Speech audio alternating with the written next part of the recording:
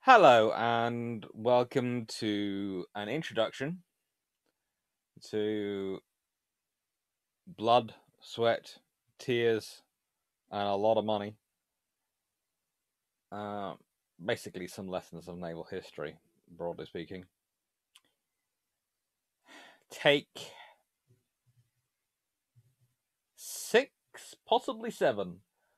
We're gonna call it six. The other one only, uh, one of them only got to thirty seconds.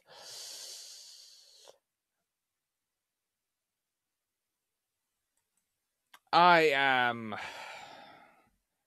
Dr. Alex Clarke. Please, though, call me Alex Clarke because Doctor, I look behind for my sister.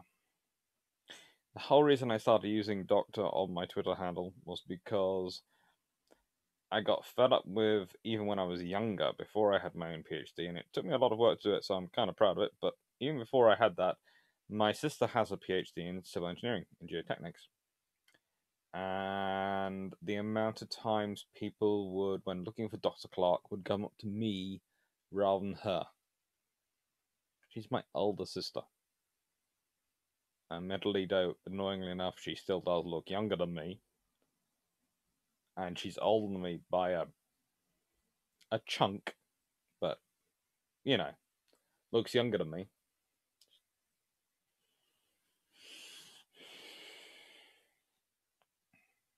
I can live with that. I'm prettier. but it annoyed me.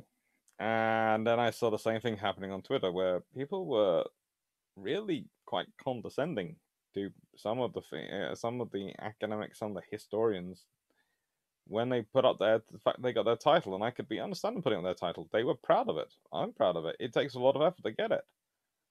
Hundred thousand word PhD thesis in my case, plus three years of writing and researching, and a year of getting of organizing Viva, doing a few minor corrections, which included visiting uh, archive which I hadn't visited because I hadn't had the money during the uh, during the actual PhD and graduation ceremony. So four years overall, but only three years actually doing the work. A year doing stuff. Most of that year, actually, I think about six months of that year was waiting for graduation ceremony. Um, but no, it was, it was worth it.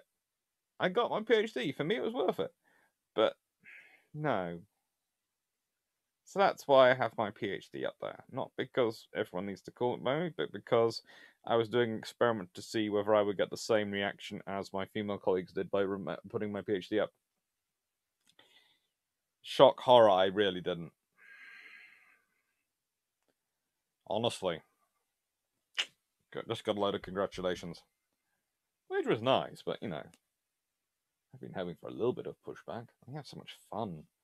Uh, Victoria Taylor, especially.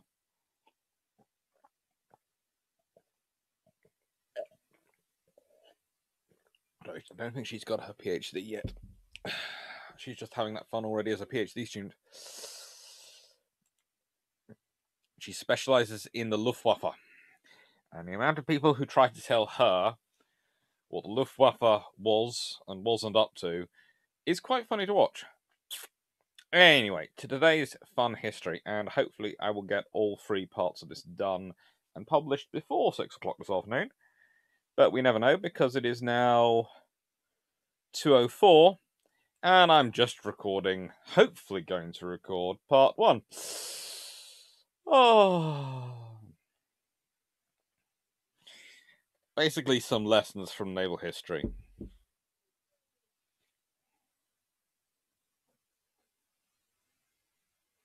It could be. It could be worse, but it could be. Uh, you know, some of these lessons get forgotten far too easily. And I've got a whole range of books, but also I have to admit, this is again like for other projects, the lessons aren't going to stop here. I'm going to bring up other examples at future dates because I've gone with the ones I can put together quickly and effectively in the time I have available while still checking references and things for the book and making sure everything in the book is perfect because it's got to be enjoyable and easy enough to read that everyone who's not an academic who's swallowed about 20 of dictionaries can still understand everything I'm saying and enjoy it and follow it, but also has to be referenced to a level at which academics will find it useful, because that's the balance I'm trying to strike. Some say it's an impossible balance, but I don't think so. I really don't.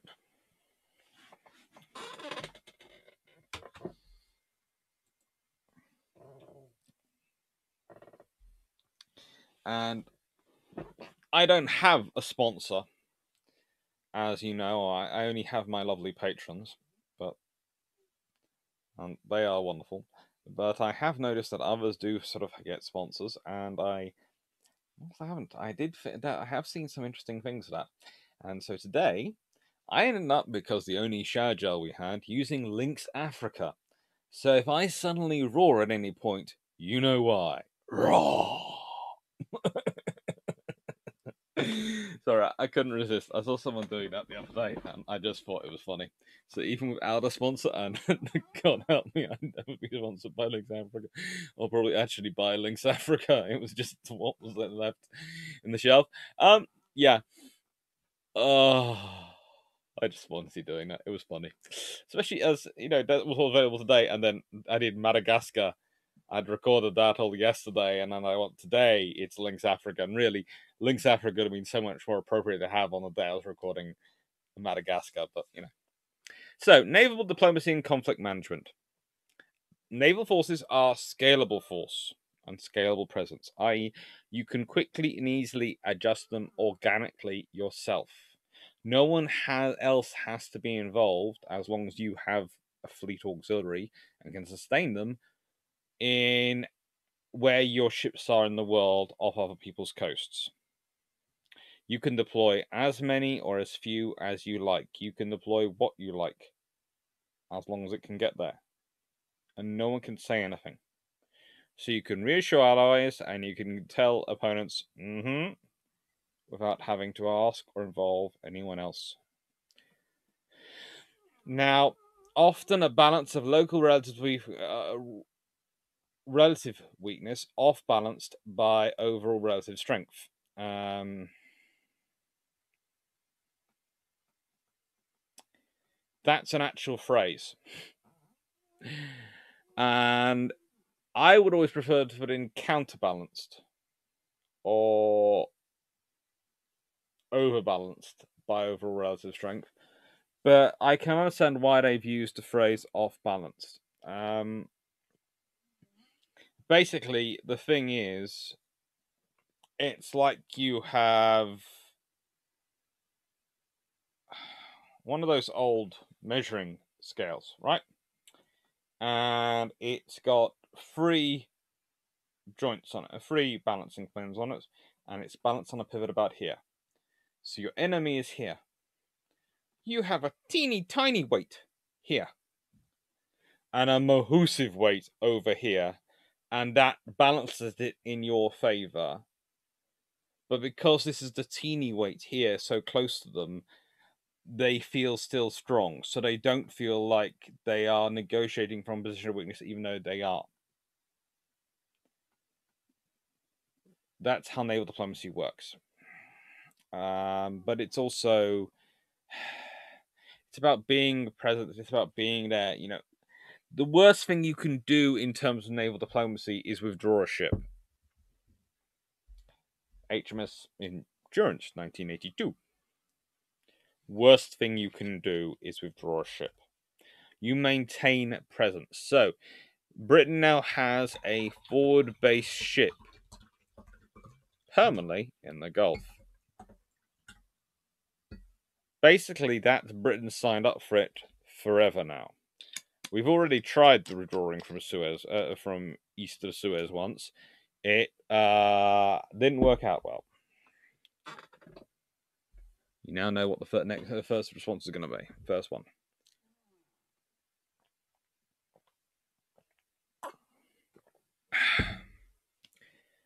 But we're now back. The question is, how much are we going to commit further afield? And if we are going to commit, what sources are going to, or resources are going to be put because they do need resources. Forward basing is not a magic key or a magic carpet.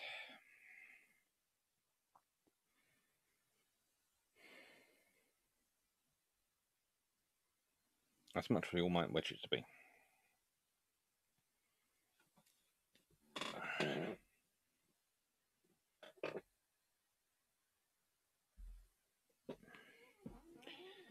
Tsingtao. Now, in the nicest way, I could talk about this all day, and I probably am going to. So, there's a reason I've picked it up. It's my first one. A, there is a great article on global maritime history about this subject. I know because I wrote it.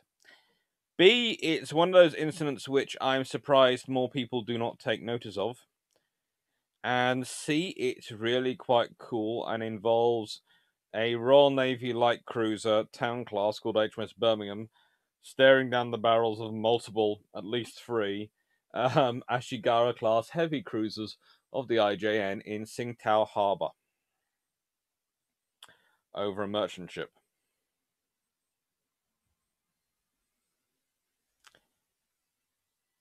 It was interesting as an event the command structure, the various people involved were interesting. What you have is a classic scenario. In the Pacific, the Japanese are definitely stronger than the China Station Squadron. And as such, they have to be handled with respect. And usually, this involves a lot of diplomacy, a lot of visits. A lot of making nice but also a lot of calculations. Classic example is Admiral Noble is invited to a very senior Japanese admiral's funeral. Admiral Noble at the time is the uh, China Station commander. And he says, Yes, I will come. Da, da, da, he specifically brings the squadron which he's brought with him for the funeral as part of the honor funeral.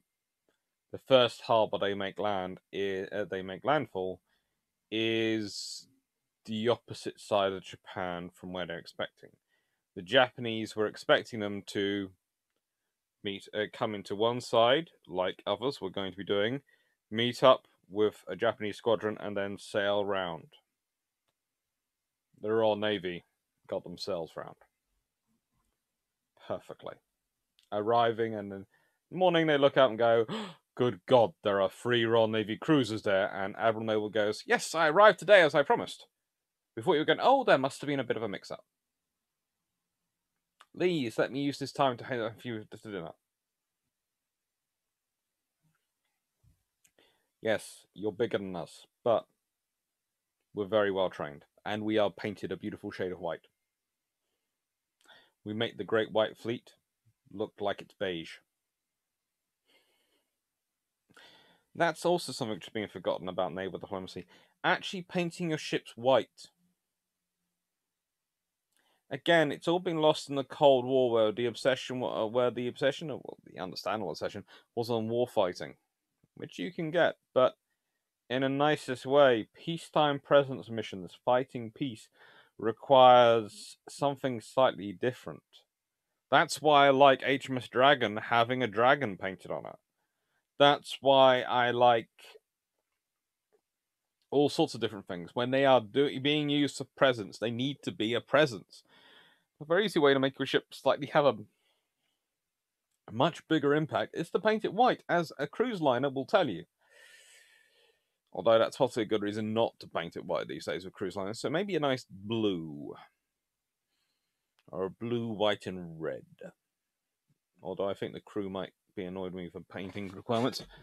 You now know the next one as well. I'm taking my time with these. I'm going to. So, basically, what happens with this one is the SS Vincent de Paul is a merchant ship. It's a small merchant ship, and to this day, its ownership is murky. And that it probably was owned by some of the major shipping lines. but we'll never be quite sure. Because what it seems to do is go to the places which Japan and China are technically having a war, or the kind of peace where both sides are readily sharpening rocks, let alone buying more guns. Um, do some trading and then turn up in the more respectable oral ports, and the stuff gets transferred to the uh, ships which go back around the world. So, uh, you know, maybe not quite owned, but certainly definitely a presence.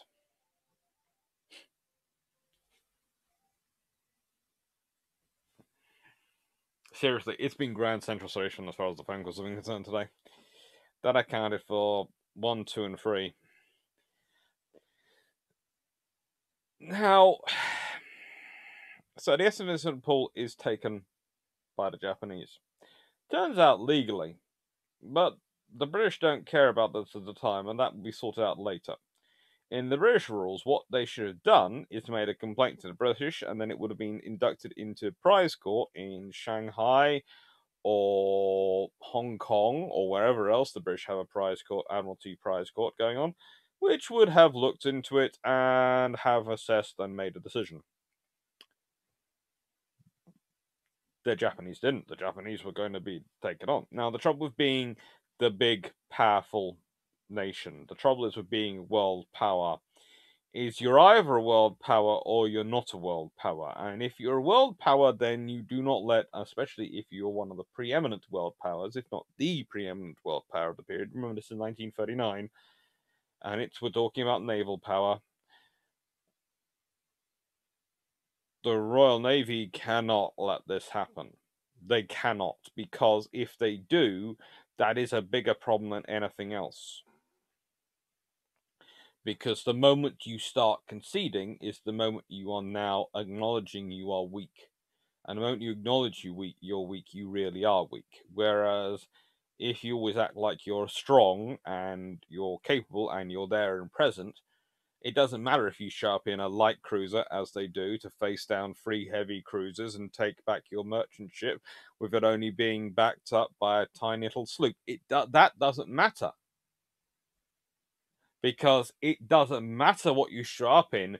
They know what's back home. They know what's in the Mediterranean fleet. They know what's in the home fleet. And they know if they cross that light cruiser, if they try and beat up that light cruiser, and by gum, is it a big light cruiser with a lot of six inch guns and a lot of torpedoes at close range, with all those guns pointing on its way out when they're pointing guns at it, pointing those guns at all our bridges and our land based headquarters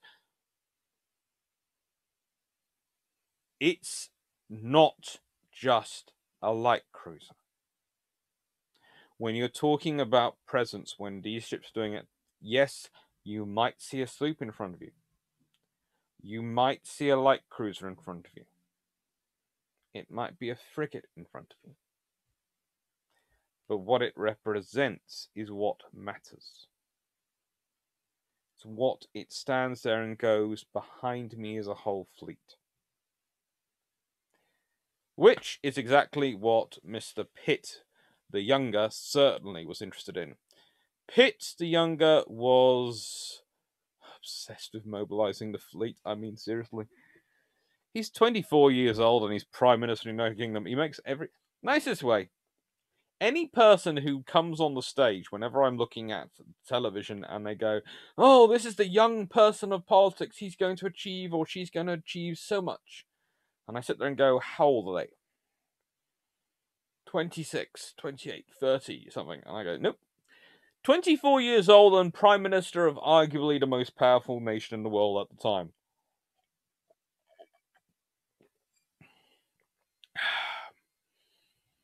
In 1787, the Dutch anti Orangist uh, patriots seized power.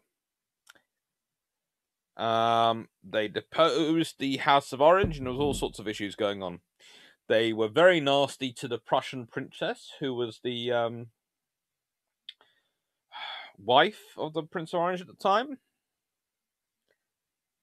And basically, the poor Dutch found themselves between the rock and the hard place, or the devil in the deep blue sea, maybe, because on one side they had the Prussian army mobilizing and going, "You manhandled our my sister."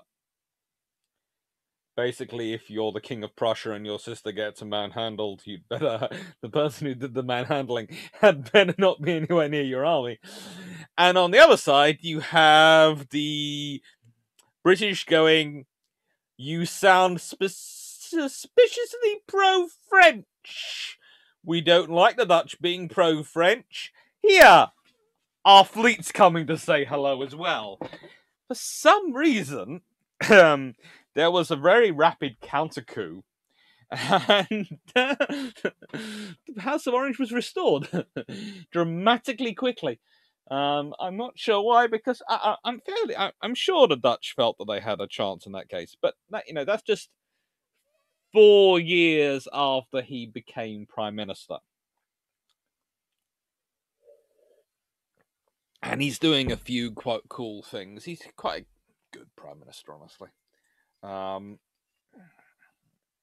I won't get into the whole was he gay or not debate or what was he. I have a feeling that the man spent his entire life about politics I'm not sure if you noticed any anything existed other outside of politics. He certainly seems to have had relationships with both close friendships with both young ladies and young men. But the most interesting reaction here, though, is he does this trick successfully against the Dutch, against the Spanish, and then he tries it against Catherine the Great. Now, there's one thing, okay? When you try it against the Dutch, they have an empire, but also they had the Prussian army looking at them as well. So you had a mobilization on both sides. Before anyone starts to think it's what's a mobilization, uh, basically, when you're not using your ships at a line, your big ships in your navy, barring a few, which are maintained as guard ships and various other duties, um, station flagships, and some small squadrons. The vast majority are laid up. They are stored, they are sort of, some of them are even pulled up and they are being maintained and all sorts of things. There's all sorts of things done with them to take care of them but that means they're not really readily available. It takes time to get them ready. Not on call or on duty permanently. And that explains another reason why ships and wooden ships lasted so long.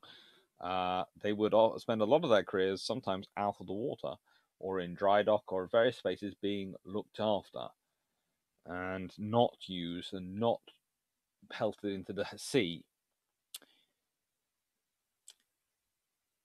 against the Spanish, well, France was in disarray, and Spain had the choice of taking on Britain again, which had a in the nicest way, it, it starts in 1789, but really the mobilization doesn't really get going till 1790 because it's so late in the year. Um,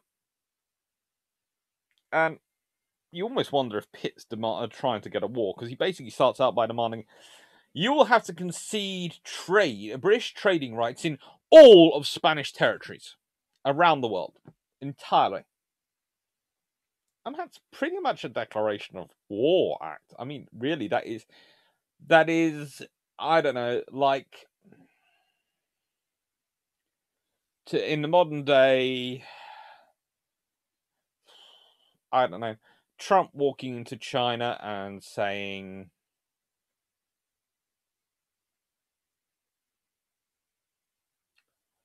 you have to allow my our construction companies um, to be able to compete, undercut, and build all the infrastructure in China.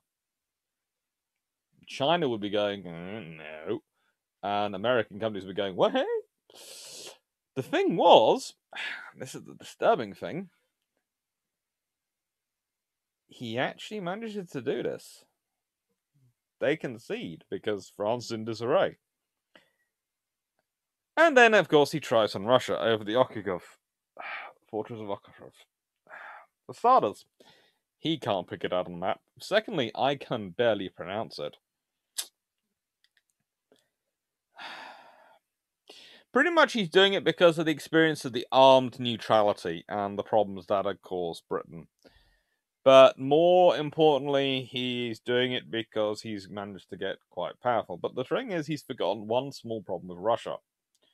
Russia is a humongous land empire with, whilst a lot of coastline, no real exposure to the sea because it's so freaking cold. And you would need a huge army to try and do anything to Russia, which Napoleon is going to, of course, try, uh, tries. But um, let's be honest, that was probably not Napoleon's greatest idea. Maybe, you know, what is it with dictators? They start off by threatening to invade Britain and then they go and invade Russia. Napoleon, Hitler. I'm sure there's another one who does the same thing, who does he tries, threatens to come this way and then marches that way.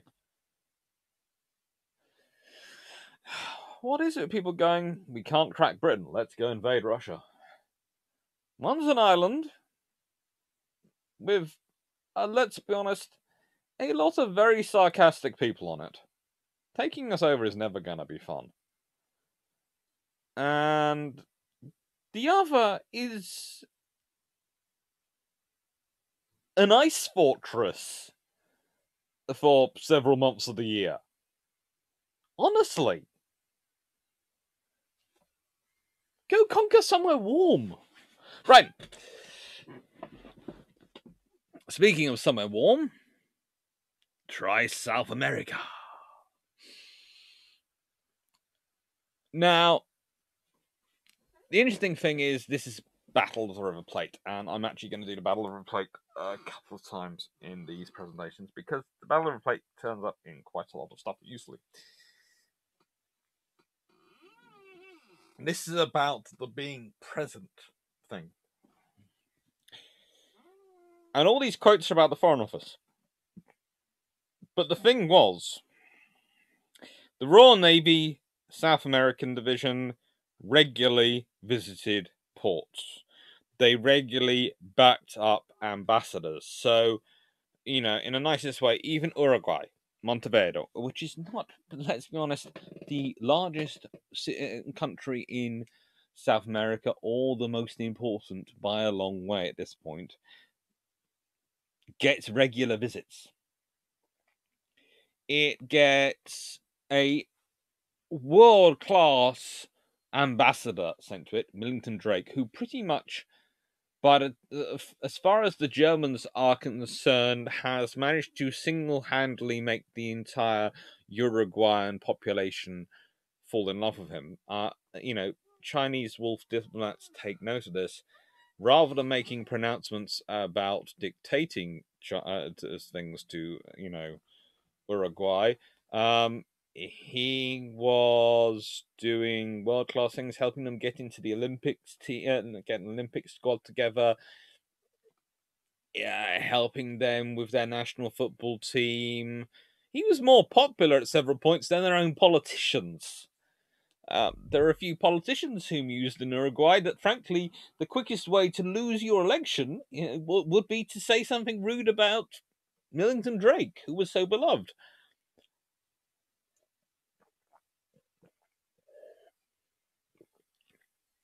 But not only does this, he has good relations with the Navy himself. It's the Foreign Office and the Navy working together. If you're American, it'll be the State Department and the Navy working together. Two working hand in hand tends to be a very good foreign policy system. And this means that when the Navy makes a request, he understands what the Navy is asking for. And he's very familiar with the laws about naval usage and naval visitations. And he uses all that stuff. And one of the great joys is the whole purpose, the aim of the battle is to destroy the Graf Spee and stop it as a threat. The battle is a mission kill of it it gets into Uruguay, but let's be honest, Montevideo, it's going to. It's still technically able to move, although with so much damage, frankly, um, No, I'm not sure its viability on a long cruise or definitely not trying to get home. It suffered a lot of damage. We'll get into that in a bit. Uh, that's in part two, I think. What then happens is they get killed off with diplomacy. Millington Drake is the one who sinks the Graf Spee.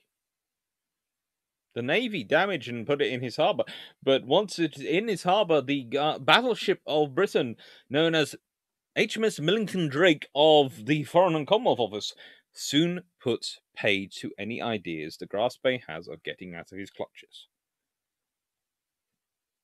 It works. It wasn't just though this time that Britain had good connections with South America, and it's something which you notice to this day. Now, there is an entire book about this particular event. Phoenix Squadron by Rowland White. That is HMS Ark Royal in 1976, four years later. So it's the closest I could find a decent picture to 1972.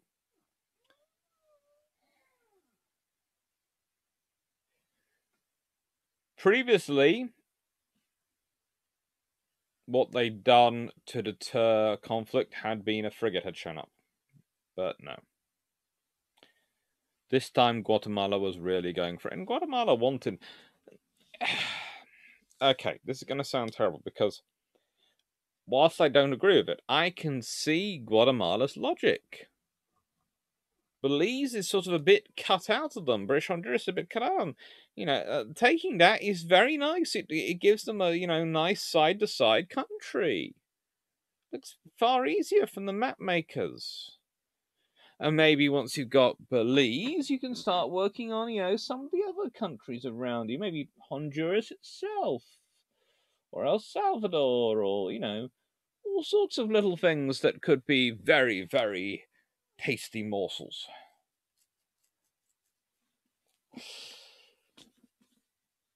That's the whole point with conquering. Once you start, you don't can't stop.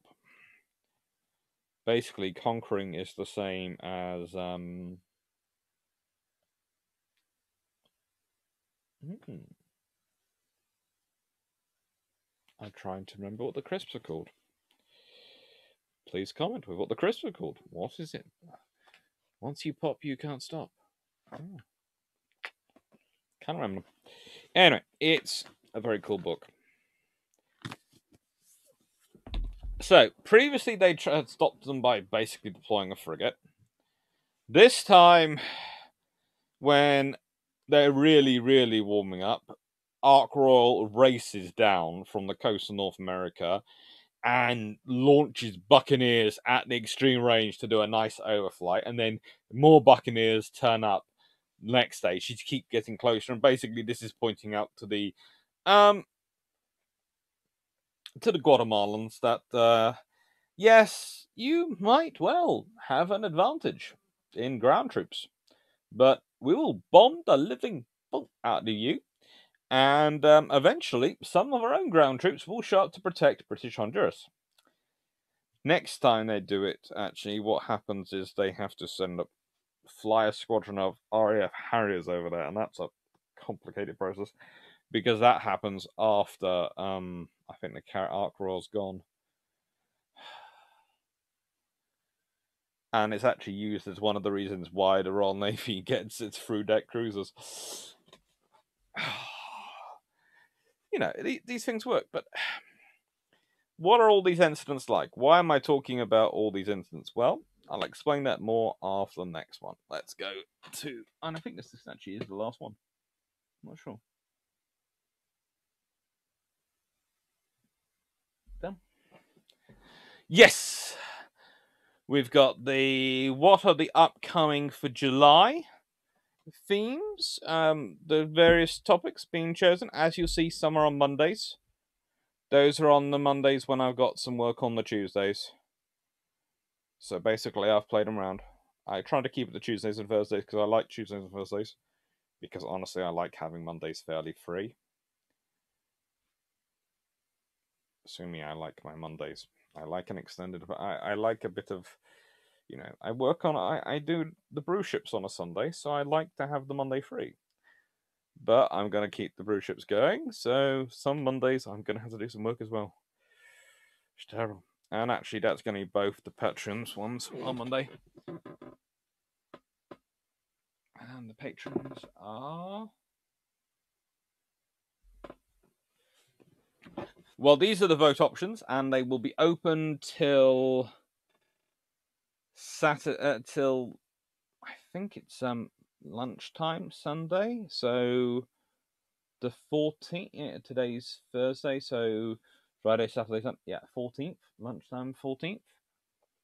And these are the five options for the patrons to vote for. And as you can see, there are some very, very interesting topics. In fact, they're all interesting topics. So the top two, the one, two of those which get the most votes, are going to be the topics. And basically, number two is going to be done on the first Monday of the month, and number one is going to be done on the third Monday of the month. Be fun for July.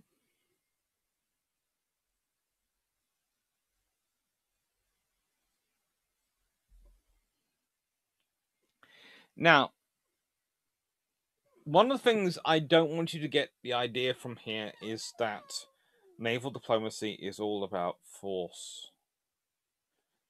The trouble is, it's most obvious when it's being used as such. All these ones are about mobilizations. All these ones are about force being demonstrated or force being present. But that isn't what naval diplomacy is about, because all those things, when it happens, are building upon years and years of presence, are building upon years and years of consistency. The mobilizations that Pitt conducted are all based upon the fact that the Royal Navy has mobilized before and has built up a reputation as a war fighting force in the Seven Years' Wars and other wars which have gone on. So you are this is what you're dealing with. You are dealing with a force which is well known for its capabilities. So it's being mobilized. When you're dealing with Tsingtao, as I've said, you've had years and years of those cruisers visiting, years and years of the Royal Navy being familiar with the Japanese Navy, understanding them, knowing how far they can push them, what they can do them because they have the presence. Knowing Tsingtao Harbor well enough, even though it's not a harbor they have actually run or controlled that had been German, taken over by the Japanese during World War One, all these things, they still knew it well enough that even without pilots, even without help, they could steam in at pretty much full pelt. And they could position themselves in the harbour, knowing exactly how they could get around that harbour. And it wasn't just Birmingham, which knew Birmingham was pretty new on station. It had been going on enough that there were generations of officers, who, even if they had gone previously on another ship or if they had experience, you know, on other things, were there, were able, were part of the crews.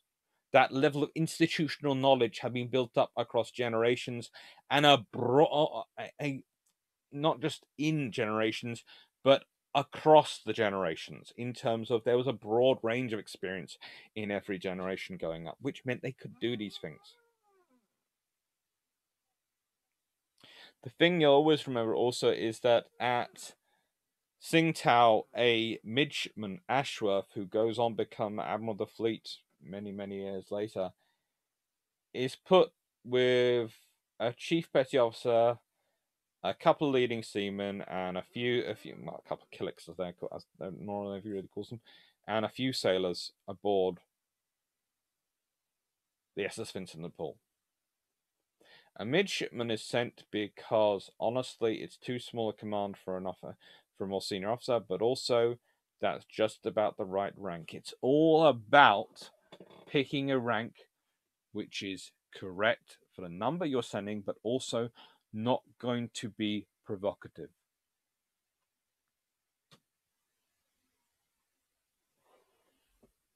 Junior lieutenant isn't available because they're being used for other things, so a senior midshipman does perfectly. But still, you think about that poor, that young boy.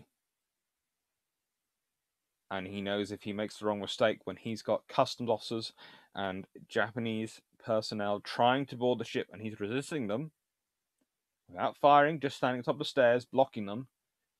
One wrong move, one failure of communication, one drawn gun, and there's war between major powers. They don't draw their guns because they know what he represents. He doesn't draw his gun because he has confidence in what he represents. That's naval diplomacy, that's conflict management. Deterrence is about presence. Presence is about both having the ships there and having the ships at home which you can send. Which is why it's important, why I talk about things like having uh, needing multiples of ships, not just two Queen Elizabeth class carriers. But if you're going to replace Albion Bulwark with ski ramp assisted LHDs, you know, like the Canberra class, you would need three because if you had five vessels as your sort of core of with five flight decks as aviation, you would always be able to count on two. It's a consistency of capability which you can build a forward presence on. And that forward presence allows you to deter and manage conflicts. I'll be explaining this more as we go on, but you know, that's why I'm making the points I do. Anyway, thank you for listening. I'm now going to go and try and record part two. See ya. Chat soon.